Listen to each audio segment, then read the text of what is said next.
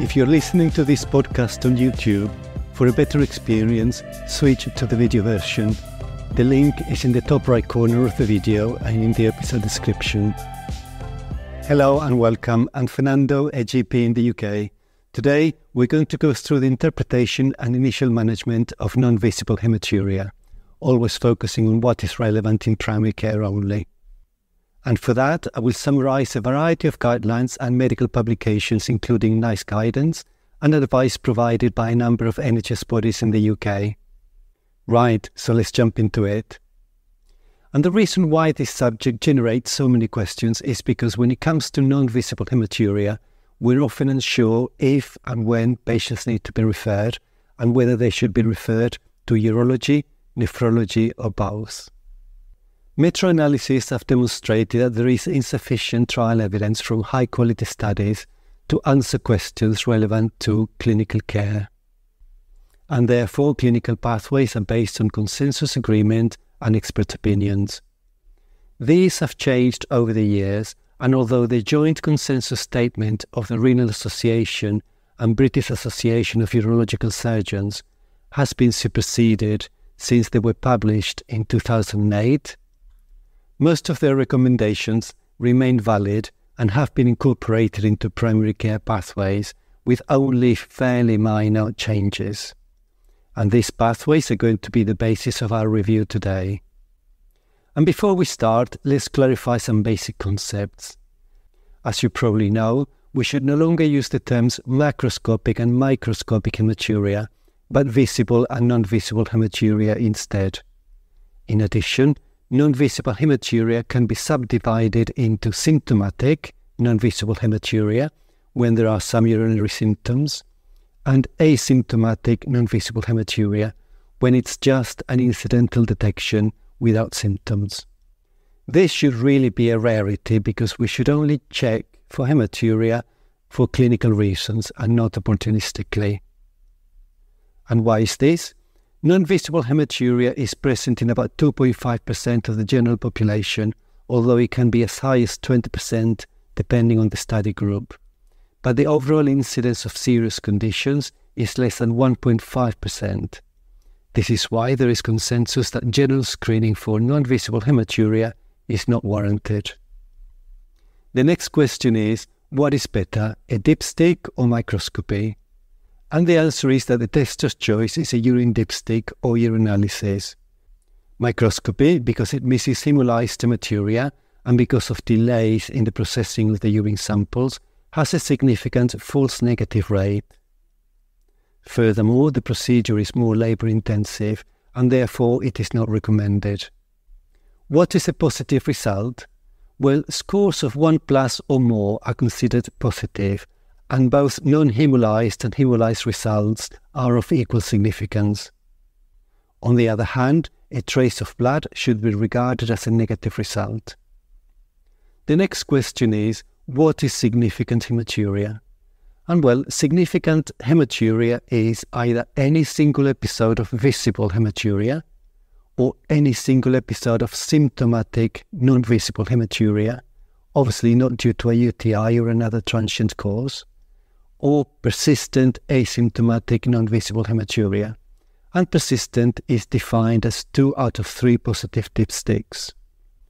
Transient and spurious causes that need to be excluded before establishing the presence of significant hematuria are, for example, a UTI and a repeat dipstick test after treatment of the infection will determine whether hematuria is persistent, exercise induced hematuria, such as seen in long distance runners, and in these cases, urine tests should be repeated at least three days after such activity. Myoglobinuria, as seen in rhabdomyolysis, when myoglobin is released from necrotic muscle cells. And menstruation leading to urinary contamination, and the urine test should be repeated after menstruation has stopped. So, what are the causes of persistent non visible hematuria? And obviously, the main worry is cancer. And according to NICE, non visible hematuria is only a reason for an urgent cancer referral to exclude bladder cancer if the non visible hematuria appears in a person aged 60 and over with either dysuria or a raised white cell count and a full blood count. For all other cases, hematuria only features as a cancer sign if it is visible in the over 45s, like in renal and bladder cancers, or if it is visible and with a raised PSA in the case of prostate cancer. Other possible known cancer causes of non-visible hematuria can be urological or nephrological. Examples of some relatively common urological causes of hematuria can be benign prostatic hyperplasia, calculus disease, prostatitis or urethritis, and urethral strictures. The most common nephrological causes are IgA nephropathy or Berger's disease and thin basement membrane disease. And finally, we will also bear in mind that hematuria should not be attributed to anticoagulant therapy, and these patients should be fully evaluated regardless of their anticoagulation. Once a UTI has been excluded, the initial investigations for patients with non-visible hematuria, both symptomatic and asymptomatic, are a blood test for full blood count and renal function tests, a urine test for albumin creatinine ratio or ACR, a blood pressure check, and we will consider an INR if the patient is on anticoagulants, and a PSA, a further MSU, and an ultrasound scan if clinically indicated. And then we will consider whether referral is necessary. But who should patients be referred to? Well, a urological cause is more likely in patients with visible hematuria, symptomatic non-visible hematuria, whatever their age, and asymptomatic non-visible hematuria if they are aged 40 or over, although the age threshold will vary depending on the guideline that you look at. So in these cases, initial referral to urology is recommended. Younger patients, generally under 40 or 45 years of age, with asymptomatic non-visible hematuria are more likely to have a renal cause. Nephrology referral is not always necessary unless performing a renal biopsy is going to be justified. So the risk factors that should definitely trigger a nephrology referral with a view to a renal biopsy are proteinuria with an ACR of 30 or more or a PCR of 50 or more, an EGFR less than 60, or hypertension that is a blood pressure greater than 140 over 90. There are a few primary care guidelines governing non-visible hematuria and have reviewed the Southeast London Hematuria Guideline as well as the North and Central London Hematuria Pathway. They both cover this area very clearly and you can find the links to them in the episode description. These pathways cover both visible and non-visible hematuria, but here I have only summarized the non-visible hematuria section of the pathway. I have combined them, creating a streamlined pathway so that it is clear from a primary care perspective. You can also find a link to download the summary in the episode description. So let's have a look at it. Right, so we start with checking the urine dipstick and we find that there is non-visible hematuria. Then we ask ourselves, has the patient got symptoms? And if they do, we will ask ourselves, do we suspect a UTI?